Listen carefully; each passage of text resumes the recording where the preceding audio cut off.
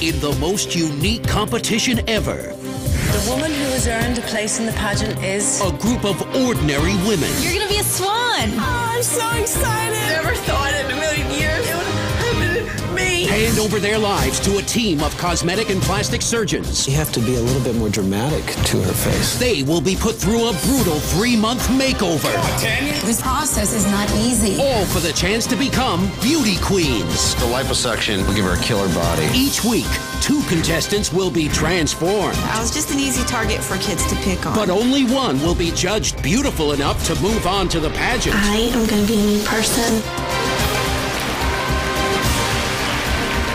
Just don't know how much more of this I can take. I told you you're going to depress. The swan transformation requires discipline, From this moment on, You got to eat properly. you have to think military. 24/7 commitment. sacrifice, I would hate to see all the work you've done and then butter makes you lose the pageant. and pain. I feel worse than I expected and I need to lay down before I punch somebody in the face. They will be constantly evaluated, She could go into an emotional tailspin. I have to Get out of here. I don't know what I'm doing. and they will do all this without ever seeing their reflection oh my goodness. No mirrors. No mirrors. No mirrors. until the final reveal. Oh my god, I'm so beautiful. All in the quest to be crowned the Swan.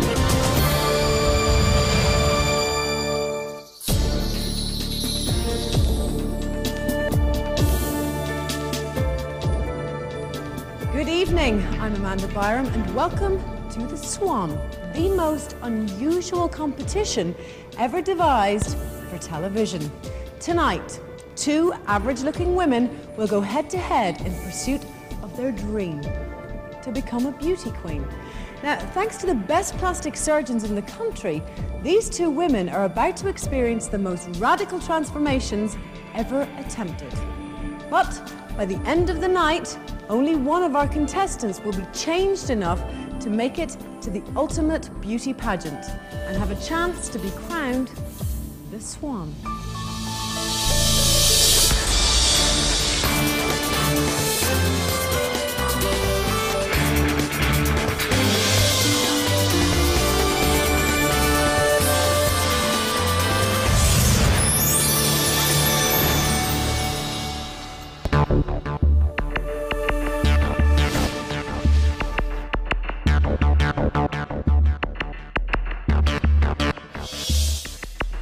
This is the most unique experience of our careers. Our goal is to transform average women into confident beauties. It's a brutal regimen over three months. Only some will make it. But all will be changed forever. It's time to meet the first of our two contestants. Kelly's competitor this evening is Rachel Love Frazier, a 27 year old construction company clerk from Sammamish, Washington. Let's surprise her with the news that she's joining the program.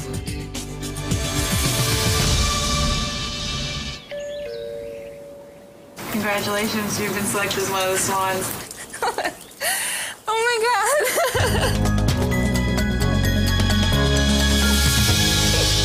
I think this transformation is going to change my life because I do believe that how you feel about yourself physically does play a part in how you react to the world and your environment. I have a horrible profile. I would like my nose to be fixed, and I want to take care of all my chunks. I feel average because I look at myself in the mirror and that's what I see. I believe that has had an impact on my relationship with my husband. She's a little average. But when she's happy, she's a very beautiful person. I would best describe my daughter as uh, a female copy of me. I've uh, always felt insecure all my life. My relationship with my dad is complicated. I was in the third grade. He said, I told your teacher just not to expect too much out of Rachel.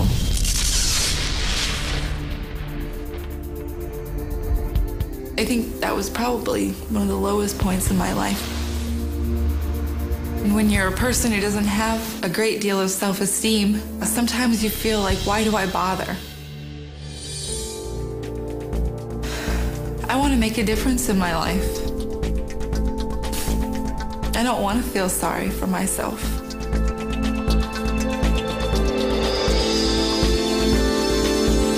Rachel says she looks in the mirror and she sees average, but correct me if I'm wrong, the men in her life don't seem to be so supportive of her. Is that where it stems from? She's carrying all that inadequacy that her father feels into her own life. That would be something we need to explore in therapy. I think she's a difficult physical transformation. What do you want to do with that nose, Randal? Well, I think the biggest problem with her is that she's got such long nostrils. Seen from the side, you can almost see into her nose. And I have to correct that. I have to open up those eyes, lift up the corners of her eyes. She's got a sad look. Liposuction her chin, breast lifts, and total body liposuction. Are you leaving any time for Greg to work on her? I think it's going to be tough. She needs a lot of cardio work. I'll probably put her on a stair climber for those big, long legs. It says here she's never been able to exercise regularly or even at all. So you better keep me informed so I can keep her on track for the pageant. One of her complaints in her papers is that her smile is a handicap because she can't bite into anything. Her mouth is almost open when she closes it. I'd like to close down her bite and create nice, softer teeth that will complement Dr. Haworth's surgeries. Rachel's Swan plan will include a nose job, lip enhancement, a chin implant, brow lift, liposuction, and several visits to the dermatologist. For her body, she'll have a breast lift and liposuction in five different areas. At the dentist, Rachel will have Zoom bleaching, a full set of Da Vinci veneers, and cleaning. Her fitness regimen will include a 1200 calorie a day diet and two hours a day of intense cardio and weight training, as well as therapy and coaching to build self esteem. She thinks she's average. Can we make her pageant material? Absolutely. Okay, let's do it then. Now it's time to learn the impact plastic surgery will have on Rachel's transformation. The key to getting Rachel to the pageant is to bring out her femininity. It's going to take a lot of work. The hardest part of your nose, though, is that your long nostrils. We're going to improve the whole thing. Then I'm going to put fat in your lips to provide a little bit more of that youthful, sexy look. We have to do quite a bit of a body change on her. She does have quite a bit of liposuction to do. So that will be a challenge. After this, hopefully, people won't look at me like, oh, you're the big girl. Just, you're, you're the beautiful, pretty girl. Yeah, exactly.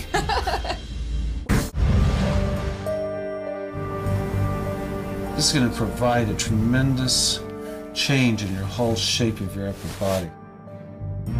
It was very weird to see the marks on my face and to look in a mirror because I haven't been able to look at myself. It was kind of nice because it's, you know, you get to say goodbye and you get to look for the last time at what you're going to look like. So it's, it's a nice memory.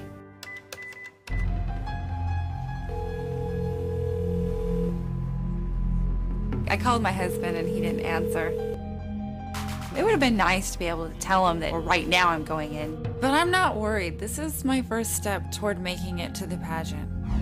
You know, we're going to maximize Rachel's femininity. I'm very optimistic about her. We'll do liposuction. We'll start around her waist area. So let's gonna give her a midline first. Look at this curve here. This side hasn't been lipo, this side has. Okay, we're doing the nose now. The hardest part will be her nose because she has certain anatomical areas that are difficult to absolutely correct. I can make improvements, but there are no guarantees when it comes to plastic surgery. In addition to transforming Rachel's face, I was able to also redefine her whole lower body, including her abdomen, and at the end of the case, I performed a breast lift. I've given her an alluring, more tantalizing face. In a couple weeks, it'll be all worth it. Rachel has completed her surgery in relatively good spirits. Rachel faces her own challenge. I think the hardest part of my recovery is that I have to go through it alone.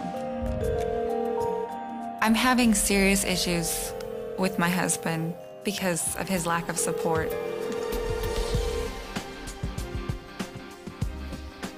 Hey, this is Mike. I'm not around. You lie. I know you're there.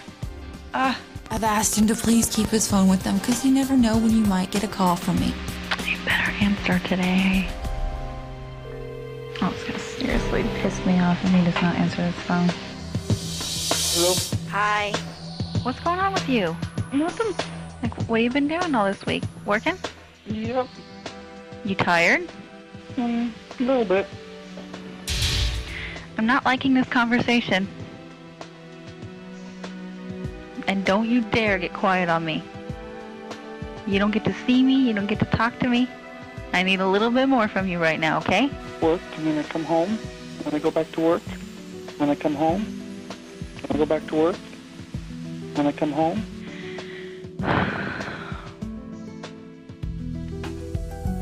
Well, things have been okay out here. I've been going to the gym a lot. Mm-hmm, that's nice. Did you get my um my letter that I sent you? Oh yeah, I got it uh, yesterday. Did you like that? Uh-huh. Okay. I'm gonna let you go, okay? Alright. Bye. Bye. It's the first time he's had to take hardly any freaking responsibility in our whole entire lives together, which is going on five years now. I've taken care of everything. The least he can do is just sit there and talk to me for 10 minutes. Rachel's home life comes up session after session. My job is to make sure that her emotional transformation is as profound as her physical one. I'm just trying to keep my family together. Me and nothing I do is good enough either. There's been times where I don't trust him. I feel, um, you know, resentful to the person who's not putting in as much effort as I am. If you let yourself acknowledge it, you have a chance to start working through it. This issue's not going to be something that's just going to be resolved. It's something I'm going to have to work at. While Rachel is dealing with her inner transformation, program. Now we've gathered here the team of experts who worked on them. Good evening, experts. Good evening. Well, Rachel had a problem with her weight. I mean, she came in at 190 pounds and was quite surprised about that. Nely, how do you think she did on the program? She stuck to the program exactly. She is a superstar. Good for her. And Dr. Haworth, you worked your magic on her.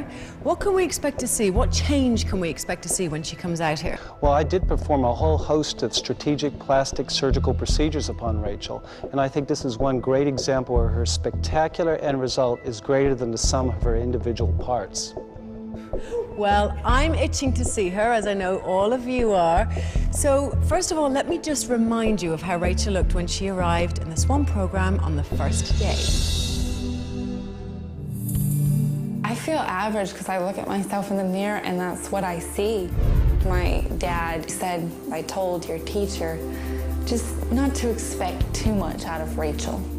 When you're a person who doesn't have a great deal of self esteem, sometimes you feel like, why do I bother? Why go on?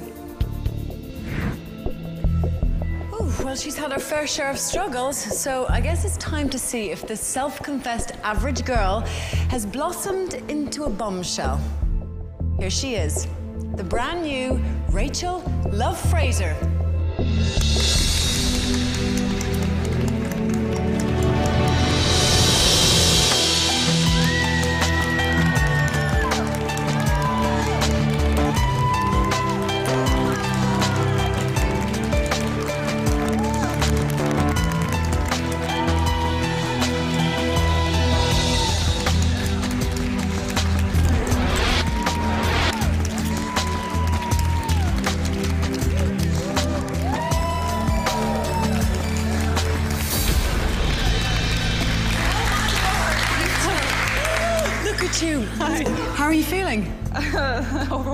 Oh my god, so am I. Come with me. Oh, Rachel, you look absolutely unbelievable. How do you feel? I feel amazing. I feel I feel gorgeous. I feel beautiful. What do you think you look like right now? If it's anything the way I feel, I think I look beautiful. Amazing.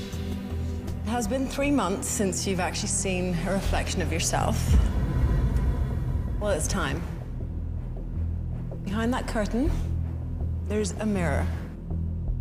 It's waiting for you to walk up to it to be revealed so you can come face to face with the new Rachel. Now, in a moment, I'm going to ask you to walk up to the curtain.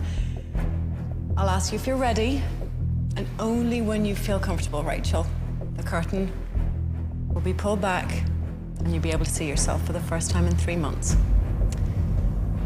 Rachel, please walk up to the curtain for me?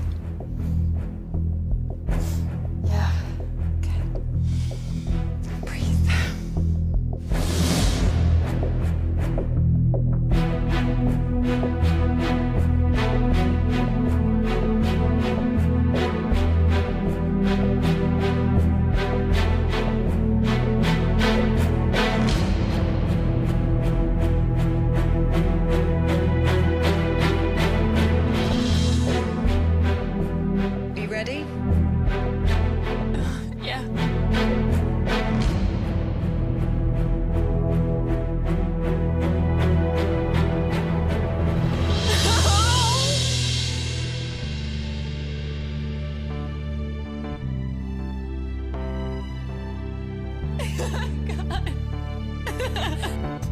don't look anything like that girl. oh my god.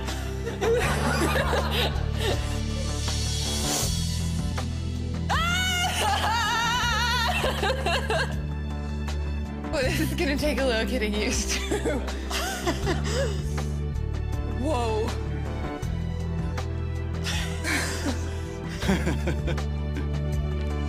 I'm so excited for you right now. Oh my god. Remember you called yourself average? Oh my god.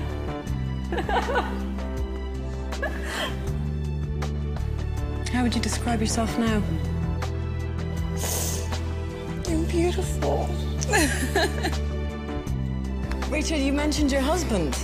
I mean, you've had a bit of difficulty with him over the past couple of months. How do you think he's going to react? I think he's gonna be stunned. He's gonna be absolutely positively stunned. There's no way he's gonna recognize me.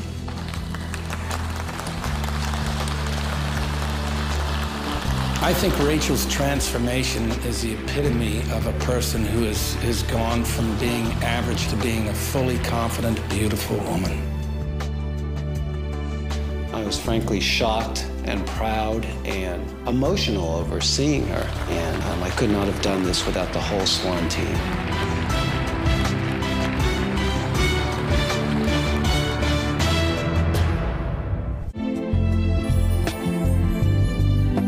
Ladies, one of you is about to move on to the pageant and could be crowned the Swan. You have been judged on beauty, poise, and overall transformation. Now, along with the title comes cash and prizes worth hundreds of thousands of dollars. In this envelope is the name of the woman who has been selected to go forward to the pageant.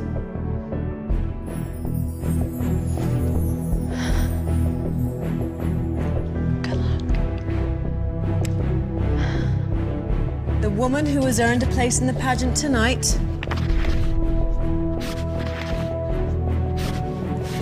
is.